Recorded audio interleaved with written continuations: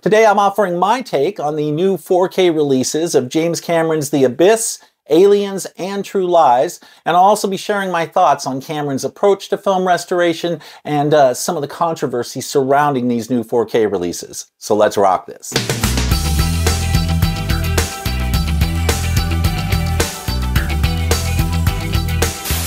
Hi everyone, how you doing? I'm Fuzz. Welcome to episode 2 of 4K Takeaways. And of course, it's James Cameron Day today. Very exciting, which means I'll be offering my take on the new 4K releases of Aliens, uh, The Abyss, and of course True Lies. Uh, but I also have a few things to say about the uh, the nature of these 4K restorations overall and the subsequent controversy that they have generated. Now, uh, I know the rollout of these titles has been a total mess. Um, of course, leave it to Disney to screw everything up with what should have been an absolute no-brainer of a rollout. I mean, these were only like the most anticipated uh, physical media releases probably ever. Uh, many of us have been waiting years for these things to be released on 4K, or even just in some cases, HD or better. But apparently, the yo yos uh, running the show at Disney uh, couldn't figure out how to accurately predict or prepare for the demand for these titles. I know there are a lot of people out there uh, still waiting for their Cameron 4Ks to arrive, even people who uh, pre ordered weeks in advance. Even mine were late arriving, and I ordered mine on the first day the listings went live on Amazon. But to be fair, I got my copies within like six days of the release date. Uh, so I know that I haven't had it nearly as bad as some of you out there have. Now, speaking of Disney, I've got to address something real quick here before we get into everything, and that is the stickers that they put on their slipcovers. I mean, what the hell is that, right? Um, it, that's super annoying. And honestly, I don't know any collector that uh, thinks it's a good idea to put stickers on on slipcovers, right? I, I, just, I mean, except for maybe the collectors that don't care about slipcovers, maybe they don't care. But uh, you know, for anybody that that wants their slipcovers to look decent, the last thing you want to see when you get a new uh, title like this is a sticker on it that you have to then try and peel off without screwing up the the uh, the slipcover, right? Um, and, and as you can see here, I actually started to try and peel it off there in the corner, and then I realized this was not going to come off easily, so I, I kind of gave up on it. Uh, I wasn't sure if I really wanted to mess with this too much, but the adhesive used on these stickers is extremely strong. It's really hard to get these things off. And honestly, I don't really understand that. I mean, why would they do something like that? I mean, if they really feel they need to put a sticker on these things, at least make it more of a removable label, something that can peel on and off easily. I mean, they have removable labels out there. You can buy removable labels. So I don't know why they wouldn't have used uh, that kind of adhesive for something like this. Now, True Lies, though, I did actually attempt to get the uh, the sticker off just to see you know, how hard or easy it was going to be. Uh, and I chose True Lies because I figured if I screwed up my slipcover, I'd rather it be on True Lies than Aliens or The Abyss, right? Um, so I did manage to get this off using a combination of uh, like saline baby wipes and some Goo Gone, but uh, you got to be really careful with it. And even I, um, there's a couple spots there. I don't know if you can actually see them, but there's a couple little spots where the, the paper kind of tore off a little bit. The ink came off a little bit. Uh, and I was pretty careful, but uh, I figured with this one, it wasn't as big of a deal uh, because of the, the natural background of the art design. Um, it doesn't show up that much, but you know, it, you know, I did kind of screw this up a little bit. Kind of, you can see the the edge of the slip kind of uh, got worn out there a little bit. So, you know, I don't know if I really want to do that with my copy of Aliens in the Abyss.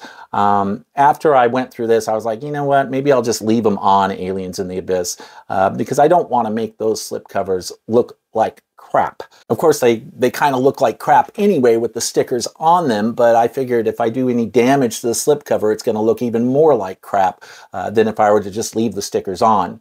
But I don't understand why they would even do that. I mean, the fact that they're willing to put a really strong adhesive sticker on a slipcover, that tells me that whoever made the decisions uh, on the packaging here at Disney didn't really understand the collector mentality or doesn't really understand the collector mentality. I mean, it's the same kind of cluelessness that comes with not being able to accurately anticipate the demand for these titles. And let's get real here, shall we? It's because at Disney, it's Clown World. Am I right? Right? I'm talking Clown World on multiple levels, right? And it goes straight to the top. Starts with their CEO and it goes all the way on down from there. Essentially, Disney has gotten rid of all the good people there that were experienced and knowledgeable about the stuff that they're creating and trying to sell, and that extends to the whole media division as well. Now, before I dive into all this in more detail, uh, I do want to give a quick shout out to a new channel member. Uh, Rod Shaft just became the latest member of the Fuzz Club. Uh, Rod, thank you so much for your support of the channel. I really appreciate it, and uh, I'll look forward to uh, chatting with you more in comments or whatnot uh, in the future. And if any of you would like to know more about the Fuzz Club, there is a link in the description below that you can click on, or you can just click that join button below, and it'll bring up all the uh, membership information for you. All right, before I get into each individual release, uh, I just wanted to share some uh, some opening thoughts here with you guys uh, about the controversy surrounding these releases and the way Cameron and Lightstorm uh, have handled these restorations. The common complaint that you will hear uh, among critics uh, is that of DNR, right? They claim that these had been DNR'd, um, that, uh, that all the grain has been scrubbed away along with all the detail, uh, and they maintain that these look waxy as a result. But DNR is not really an accurate term here. Uh, that's not what's going on. It's just that DNR has basically become a form of shorthand that we all use uh, for any restoration that people think maybe looks a little too digitally processed. When people think of like traditional uh, DNR, like a blanket DNR, uh, what they usually mean is that the fine detail has been scrubbed uh, along with the grain, um, and it gives it a waxy, unnatural looking appearance. But like I said, that's not an accurate characterization for these releases. The reality here is much, much more nuanced and uh, precision oriented than some people have portrayed it. These titles have not been DNR'd in the uh, traditional sense that we have come to know and dread. Uh, the software they used on these restorations is far more advanced than that. In other words, these new 4K releases do not look like the uh, 4K release of Terminator 2. Uh, Terminator 2 had a, a completely different uh, problem. That was a studio screw up. That was not a James Cameron thing. That was something where Studio Canal screwed up and used a 3D master for the 4K, which you don't do that right? Uh, and that's why it looks the way it does. It was Waxworks Central over at uh, T2, right? Cameron used a relatively new uh, proprietary software uh, developed by a company called Park Road Post. Um, it's an AI based machine deep learning system. It's the same software that Peter Jackson used uh, for uh, his Beatles Get Back documentary. And to reinforce that point about uh, the nature of the software they're using, uh, Bill Hunt from the Digital Bits had uh, an interesting editor's note in his True Lies review. Now, you guys probably hear me talk about Bill Hunt quite a bit on this channel. I'm a big fan of the Digital Bits. Uh, that is his online publication, and Bill Hunt is just a solid guy. Um, he seems to have some very credible sources, and uh, at least in the case of these Cameron releases, um, he was in touch with people who were actually working on the disc risks. So, uh, you know, he's a solid source for this kind of stuff. And here's what uh, Bill Hunt had to say here uh, in that review. Um, he said, This is definitely not old school DNR here, uh, a term that far too many audio video enthusiasts are overusing today. Uh, remastering tools have evolved a great deal since the dreaded digital noise reduction days of the aughts. This Park Road process is something entirely new.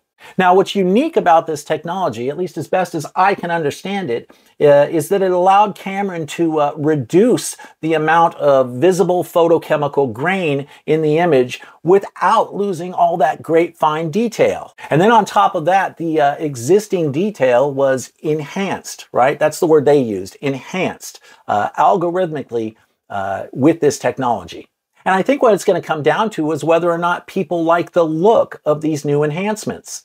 The end result uh, of using this new technology is that the films have a very clean and much more modern look and feel to them uh, than some are used to. And that's where the controversy is coming from, right? Um, the fact that Cameron has taken this approach for these beloved films uh, has really rubbed some people the wrong way. However, uh, I've got to make a distinction here because there are a lot of Cameron haters out there. Uh, and I got to say up front, uh, I don't put a whole lot of stock in anything being said by the Cameron haters. And when I say Cameron haters here, uh, I'm not talking about uh, people who are fans of his work and just have a genuine and sincere difference of opinion uh, in terms of their preferences for the look of these 4Ks. Not everyone is going to like the way these new restorations look, and that's totally okay. The way I see it, there's plenty of room for uh, a little friendly discourse and healthy disagreement on these things. But a Cameron hater will take things to a whole new level uh, and start attaching negative attributes to his personality. Like they'll claim he's being lazy or greedy or uh, or that he doesn't respect his fans because he's butchering his films uh, or whatnot. The Cameron haters can get pretty over the top and uh, even a little vitriolic uh, with their rhetoric. But once you start attacking Cameron on a more personal level like that, um, you basically totally lose me and, uh, and you bust your own credibility in the process. So I would say there's a subsection of Cameron fans uh, who are really more like haters than fans, um, and I will typically take their comments with a grain of salt.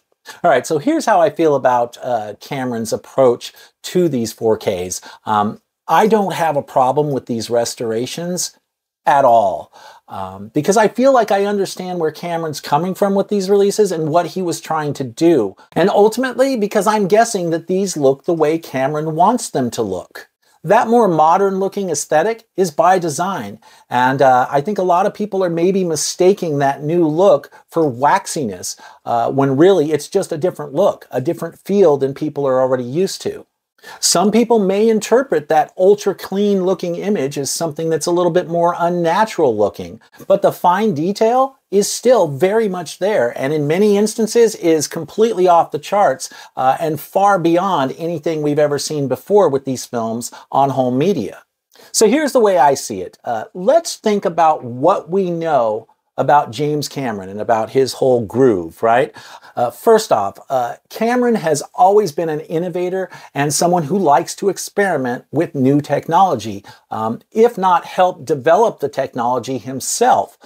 And he's even been known to wait for uh, long stretches of time in between films uh, to allow technology the time to uh, develop and catch up to what he wanted to do. So that's the first thing. The second thing is, ever since at least the early 90s, uh, Cameron has always been the type of person that strives to make his movies look as clean and as modern as possible uh, relative to the era he's making the film in. Meaning, uh, as clean and as modern looking as possible within the confines of the technology of the day. I mean, when I first saw Terminator 2 in 1991 in the theater, um, it looked like a state of the art film at the time. The T1000 liquid metal effects were absolutely cutting edge, and we'd never really seen anything like that except for maybe The Abyss just a couple years prior, which ended up, the effects there ended up being kind of a precursor to what would happen in T2 uh, a couple years later. But essentially, uh, Terminator 2 was a pretty groundbreaking film in terms of the kind of visual effects that they had. And back then, at the time, it felt like we were watching a very clean and modern looking film. Uh, uh, relative to what we had seen before that. So I don't think anyone should be surprised that uh, Cameron would experiment with new technology uh, when he's restoring and remastering his films. Especially when he has the opportunity to uh, reduce the uh, the visible grain and give his films that more modern look without losing all that great fine detail in the process. I can totally understand Cameron being on board with that type of process, uh, and like I said, I don't have a problem with it. So I don't know, guys, but it seems to me that these 4K restorations look exactly the way uh, Cameron would have made these films look when they were first made if he had had the technology to do so at the time. And I'm totally here for it because overall, taken as a whole, I think these new Cameron 4Ks look fantastic. I certainly don't think they look uh, bad uh, on any level, um, but they do look a little different than what we're used to, uh, and not everyone's going to be able to handle it. Uh, personally, I like that modern look. Um, it's like rediscovering the films and watching them in a whole new light. Um, it's fun and it's exciting. And uh, I, I just don't consider myself to be such a purist that that kind of thing is going to bother me. I think these are the best these films have ever looked on home media, even True Lies. And uh, I personally think that they're a must own for any James Cameron fan. Okay, so that's sort of my uh, macro view of these releases, uh, but now let's get into my thoughts on each individual film. Okay, so let's start off with Aliens, uh, and of course to uh, celebrate the occasion, I've got my Hudson Game Over Man t-shirt on here. For those of you who are into that sort of thing, um, had to do it, right? I mean, if there was ever a video to wear this shirt on, it had to be this one, right? But we've got aliens here. And, uh, you know, I've said this before. I'm sure those of you who are regular viewers to the channel already know this, but this is my all time favorite film uh, with Terminator right behind it. Um, you know, James Cameron is one of my favorite directors, so uh, I'm not even going to try to pretend to be uh, neutral or unbiased here uh, with this release. Now, this is a film I watch probably at least several times a year, if not more. Um, it's a big time comfort movie for me. It's one of those ones I pop on whenever I don't want to have to think too hard about something, or I just want to be entertained and and uh, watch something very, very familiar. This is the one that uh, more often than others uh, goes in the player. So I can't help but to uh, feel like I kind of know this movie like the back of my hand. Of course, that's a little bit of an exaggeration, but uh, you guys get the idea. I know this movie well. All right, so let's get into the uh, the image presentation here. Um, first off, it's not clear to me what type of source was used for this uh, this new restoration. I've seen other people out there, including YouTube reviewers that I respect, uh, refer to this as a native 4K restoration, uh, which would indicate to me that it was sourced from a 4K scan of the original camera negative. However, I've not been able to completely confirm that, but I've also read, uh, namely from Bill Hunt at the Digital Bits, that it's possible this could also be sourced from a, uh, an existing 2K scan of the original camera negative that they already had. But either way, uh, I wouldn't get too hung up on that. It doesn't really matter uh, because this 4K is absolutely stunning and it looks outstanding. And you do have Dolby Vision and HDR10 here. Now, before I go any further here, I want to mention that there's been this post going around on social media uh, by some blowhard on Reddit who's uh, levying all these wild accusations about this release and really just smearing the shit out of this release. He's saying things like it's lazy, fake 4K or that it's fake HDR. Um, he's all hyper focused on things like the nits and the peak nits, um, and he's you know upset that the nits aren't high enough. He's got like heat map analysis and spectral analysis and all this crap going on. Frankly, it's just totally ridiculous. Now, personally, I don't put a whole lot of stock in those kinds of posts. Uh, what I recommend is that you just get the disc, you pop it in, and then you let your own eyes be the judge, right? You decide for yourself. Um, and above all, enjoy the film, have fun with it. Because this 4K looks absolutely amazing, and it's definitely an upgrade uh, over previous releases. I was pretty blown away by the image presentation here, and uh, I think this 4K is easily the best this film has ever looked on physical media. Um, the level of detail is incredible and it very much uh, surpasses any version I've ever seen of this film previously. Um, I noticed details in this new 4K that I had never seen before. You certainly see a lot more detail in skin, in uh, facial features, uh, complexion, pores, tiny little beads of sweat maybe hidden in the shadow of someone's face, um, hairs or whatnot. Also, the alien effects, the alien slime, the, the sets and locations, the set pieces, the structures, um, all of these things just look so incredible with uh, so much glistening detail that's crackling with life and totally popping off the screen for you. The 4K image definitely has a lot more depth to it than we saw on Blu-ray, uh, and I feel like the image just seems so much more vibrant and alive on 4K. So you gotta take the haters out there with a grain of salt and just trust your own eyes. Now that said, the image does look a little different than what people are used to, as I indicated earlier, um, and not everyone is going to appreciate what Cameron has done here. The, uh, the grain has been reduced significantly um, to the point where the average person may not even notice any grain. And Cameron's given this film a much more modern look, uh, a much cleaner appearance, which means it maybe lacks some of the grit that people are accustomed to. Personally, I really like the way it looks. Um, I think it looks really cool. And uh, it's a bit of a different way. Like I indicated earlier, it's a bit of a different way to experience this film uh, than we've been used to before. Um, and that aspect in and of itself was a lot of fun for me. Like, I like the new look, and seeing this new look, I had a lot of fun with it. Now, don't get me wrong, it's still the same film, right? It's still the aliens we know and love. It's just been kind of given a bit of an upgrade, right? It's been updated uh, to, uh, you know, presumably appeal to modern audiences and, uh, you know, to satisfy uh, Cameron's preferences as well. But if I'm being fair, uh, I will admit there are a few shots or scenes where uh, maybe the computer processing is a little bit more apparent. It's a little bit more noticeable. Now, it's not waxworks. I don't think it makes people look waxy. I just think it's a different look than we're used to with this film. And I can totally understand if uh, some people feel like certain parts are looking a little too processed. But like I said, I just don't personally have a problem with the way it looks. Uh, I think it looks awesome. Um, I like the modern look. So ultimately, I think it's just going to depend on the individual as to whether or not you dig this 4K release. Um, but I do think it is a significant improvement uh, over the previous Blu-ray. Um, and I just think it looks damn good. Okay, so let's move on to special features here. I'm not going to go through every single special feature included, but just the big ones that I thought were the uh, the most interesting. Um, now, I noticed uh, there's a lot of archival uh, special features here, a lot of archival stuff that was not included on the uh, the previous Blu-ray release, right? This was pretty, uh, didn't have a whole lot in the way of special features. So I was uh, pleased to see that they actually included some of these archival special features uh, on this. Let's start off with uh, a new special feature. Uh, there is a new uh, featurette. It's about 30 minutes long uh, that is really good. It's a really nice presentation. It's called The Inspiration and Design of Aliens. Um, like I said, it's about a half hour. It's a Cameron retrospective with uh, James Cameron mostly uh, reflecting back on aliens. Um, and I thought it was pretty good. It was really entertaining and uh, it, it, actually had a little bit more meatiness to it uh, than I thought it would. So, uh, yeah, enjoyable special feature.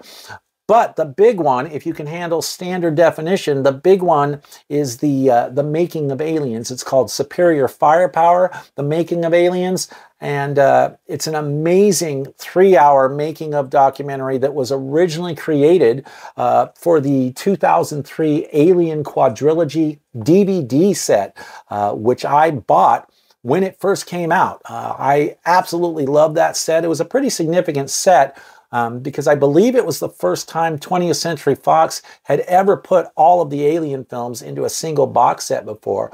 And there were a bunch of new special features on that box. Eventually, we got a, uh, a Blu-ray set uh, Alien Anthology, which was basically just like the uh, quadrilogy DVD set, except on Blu ray.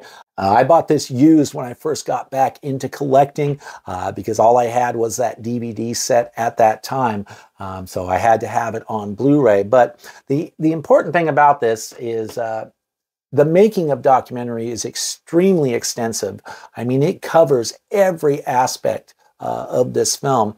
Uh, again, it's in standard definition, uh, so if you can't handle watching things in standard definition, uh, you might not dig it as much. But I thought it looked fine, uh, and I found that usually for making of documentaries, older making of documentaries, that's one of the few things I can actually handle uh, watching standard definition for, because I'm not having some big, deep cinematic experience, right? It doesn't need to be the highest resolution possible. Now, would I prefer it's in HD? Of course I would, you know, but this is one of the best documentaries, one of the best film uh, making of documentaries that I've ever seen uh, to this day. It's like a major deep dive into aliens covering almost every aspect of this film. Uh, you get to see how they design the aliens, you get to see how they design the sets and what their considerations were. Uh, you learn about some of the problems and, and conflicts on the set between uh, Cameron and the crew. Um, it's just really fascinating stuff. Plus, beyond that three hour documentary, there's a whole nother hour of enhancements uh, in addition to that. So this thing is just loaded with tons of great stuff, tons of information about the making of this film.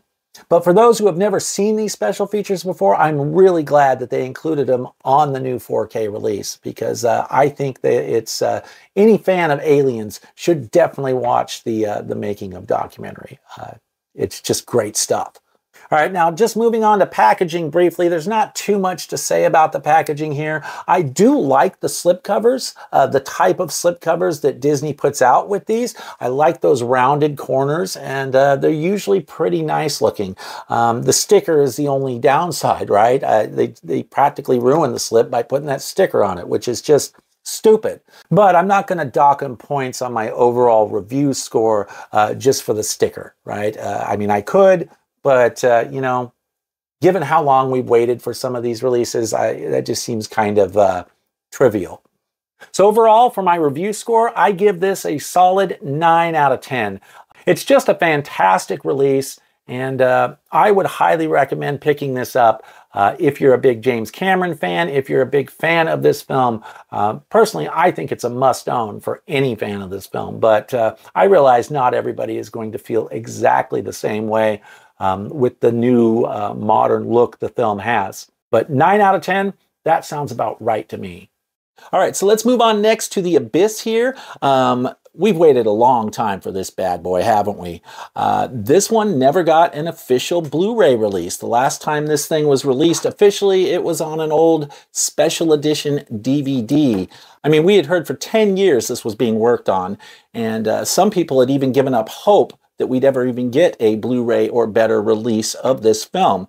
Now, I gotta say, uh, even though Aliens is my all-time favorite film, uh, this was the uh, single most anticipated release of the bunch uh, for me personally. This was the big one that we uh, desperately needed in HD or better. And I am so pleased that they did right by this film uh, in a big way, and they gave us the full meal deal on 4K. The coveted extended special edition, which I personally believe is the only way to watch this film. There's some critical context uh, that we get in the extended special edition version that we do not get in the theatrical version, particularly as it relates to the ending of the film, which is just so much more uh, impactful in the extended version. So if you've never seen it, I would highly encourage you to uh, watch the special edition cut, the extended version, uh, on your first watch. It, again, it really is the only way to see this film. Uh, it's a little long. It's like two hours and 51 minutes. Um, well, 243 if you don't include the, the credits. There's like eight minutes of, of closing credits, but, uh, but it is pretty long. Uh, but it's absolutely worth it. You know, this was really a groundbreaking film uh, for the time. At the time it was released, uh, there was a lot of stuff done in this film that had never been done before. Um, it was filmed in a massive, uh, abandoned and converted nuclear containment tank uh, that was about 60 feet deep just huge. The habitat that they used in the movie was a real uh, custom built and pressurized set that they built in the bottom of this containment tank before they filled it up with water. And I believe to this day, uh, the habitat that they built for this film uh, was the largest underwater uh, movie set ever constructed. Um, and I mean, it certainly was at the time, and that may still be the case uh, today. It may still hold that record. I mean, they used real subs um, and they had custom lights designed and built for this purpose uh, that could be used underwater, custom cameras that could be used underwater. Um, they even had custom helmets built. All the helmets all the divers are wearing in the movie, um, yeah, they, those were custom helmets that they had built for this movie. Um, they didn't actually exist in real life uh, until James Cameron asked for them. I mean, this was the real deal in terms of innovation in filmmaking. This was absolutely the real deal. And a lot of what they learned on this film from this experience and the technology that they developed for the film, it would come in handy later. Uh, and James Cameron would use some of those same uh, things that he learned for both Titanic and Avatar Way of Water. And there were some pretty groundbreaking uh, visual effects as well, uh, courtesy of ILM, um, some of which would be further developed uh, for Terminator 2, for the liquid metal effects for Terminator 2 a couple years later. So the water worm in this, that was kind of the precursor to uh, what we would see with the T1000 in T2. All right, so let's talk about the image quality. Um, this is sourced from a 4K scan of the original camera negative. Uh, includes both Dolby Vision and HDR10. Um, this is absolutely an incredible uh, restoration. Uh, and I think it's actually the best of the, the three Cameron releases that came out last week. Although Aliens is very close, right? Um, but this one just just edged it out, I think, uh, on the, uh, the image quality and the image presentation. The level of detail here is completely off the charts, uh, especially when you're looking at people and their physical characteristics. Uh, hair is so crisp, uh, and you see every tiny little facial hair, uh, every pore, every mole, every dimple, um, down to even the tiniest drops of sweat or water. All the sets and models just look absolutely fantastic. Uh, and the visual effects actually hold up surprisingly well, considering, you know, we're talking 1989 here. I mean, they look exactly like they should. Um, the NTIs have their characteristically soft appearance, uh, but you can make out a lot more detail in the lights and the structures and uh, in the intricacies of their devices and crafts. Uh, the clarity of this image is just fantastic. Uh, like Aliens, it also has a much more modern look to it than, uh, than what people are used to, uh, with a significant amount of grain reduction. But with this film in particular, it all works just so well. The look and the aesthetic uh, that Cameron was going for with these restorations, it really, I think, lends itself well to this particular film. It is a gorgeous looking presentation, yet to my eyes, it also looks exactly exactly like it should. It's the same film that I've always loved, only way better. Essentially, this is everything I could have hoped for with this restoration, uh, and it looks nothing short of spectacular. Okay, so let's talk about the, uh, the special features here real quick. Um, there is a new featurette called The Legacy of the Abyss. It's about 25 minutes long, uh, and it's a great presentation. Uh, I believe you got James Cameron, Gale Anne Hurd, Jon Landau, and maybe a couple other people uh, speaking on the film and uh, kind of reflecting on the abyss. Uh, but it's a really good uh, featurette, and I'm glad they included at least a little something new there, uh, like they did with Aliens as well. But the big special feature here for me was uh, carried over from the old DVD special edition set, um, and that is Under Pressure, The Making of the Abyss. Um, it's about an hour-long documentary. It's in standard definition and 4 by 3 so you got to be okay with that.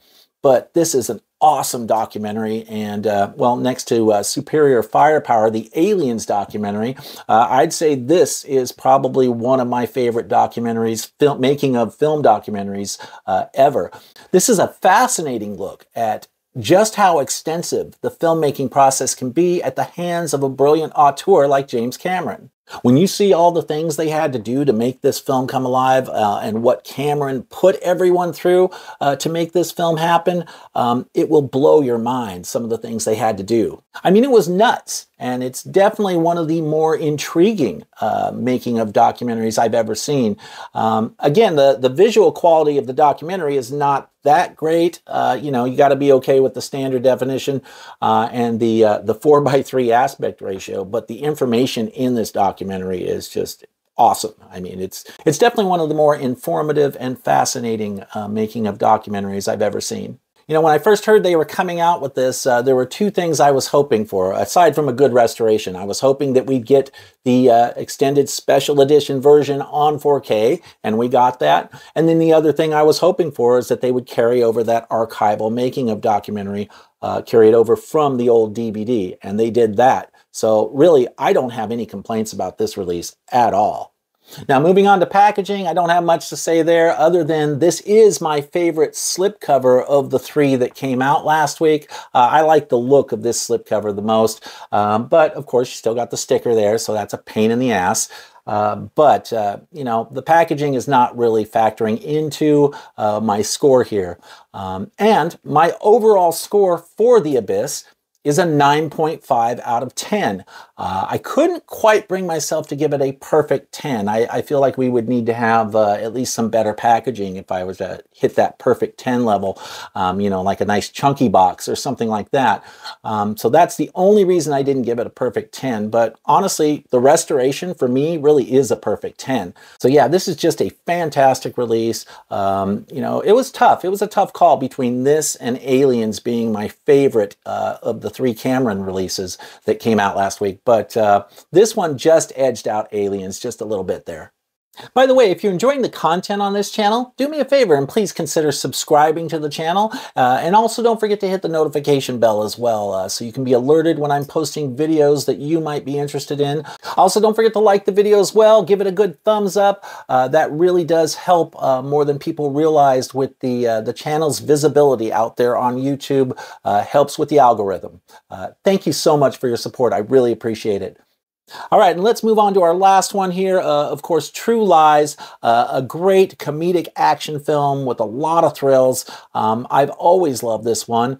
And even though this one doesn't rank quite as high for me as other James Cameron films, uh, I was reminded when watching it the other night of uh, just how solid of an action film this is.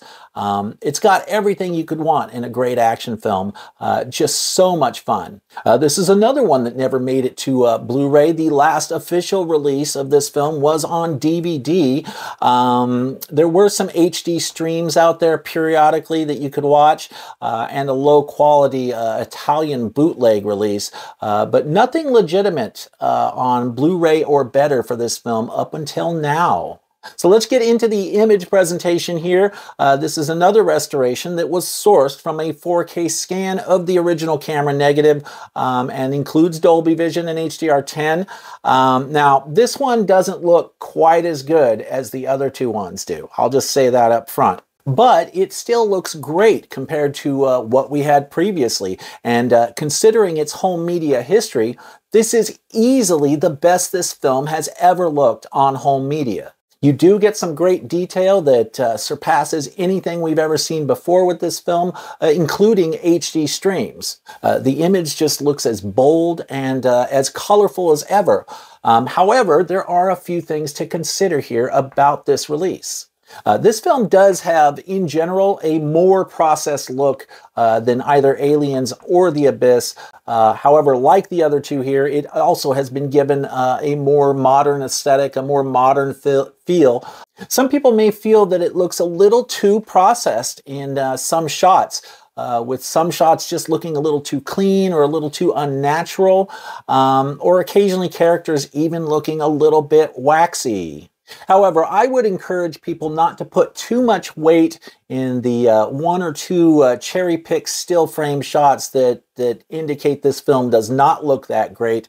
Um, you know, people have been plastering that same uh, photo or same couple photos all over the internet and trying to paint the entire viewing experience as though everything looks like that one still frame shot. And that's just not true. Um, most of the film looks great, and a still frame shot is not going to be representative of what the film will actually look like when it's in motion. So those still frame shots can be a little bit deceiving. But if I'm being honest, uh, the processing definitely feels a little heavier uh, on this film. I don't feel like the other two films had this issue as much, um, but you know there could be a number of different reasons uh, for the approach that they took here. Uh, I think it was Paul over at Twinflix uh, indicated the other night that there may have been some issues uh, with the source materials for this. The original camera negative um, was apparently not in very good shape. Um, and this restoration approach uh, apparently ended up being their best option. Essentially, this was the best they could come up with uh, from what I understand. Uh, the other thing worth noting here uh, about this release is that there are some shots in the film uh, that are going to appear a little softer in general because that softness is actually baked into the source. Uh, meaning there's there's some sort of haze or, or fog or smoke or something uh, going on in the scene or shot that has obscured the detail in that shot a little bit. Or it may come down to the type of lens or filters or whatnot that uh, were being used in a given scene. So just keep in mind those softer shots are not necessarily uh, something that exists as a result of this restoration. In some of those cases, it's just the way the film was shot. All right, so let's move on to special features here. Uh, there's not a ton of special features here, but there is one uh, featurette in particular uh, that I think is worth noting. Um, there is a brand new 43-minute retrospective uh, called Fear is Not an Option, looking back at True Lies. Um, and it's a really nice presentation. Uh, you got interviews with James Cameron and Arnold and Jamie Lee Curtis, later career interviews like post 2012. It was actually a really enjoyable uh, retrospective. Uh, and they actually, you know, 43 minutes doesn't sound like much, but they actually crammed quite a bit into that 43 minute runtime. Um, and, you know, I was, I felt completely satisfied after watching it. It's a really good uh, retrospective that uh, I would definitely encourage you guys to check out uh, after you've watched the film. And I think there's also a few small uh, archival things in there as well, but nothing really that significant, uh, nothing as significant as the 43 minute documentary.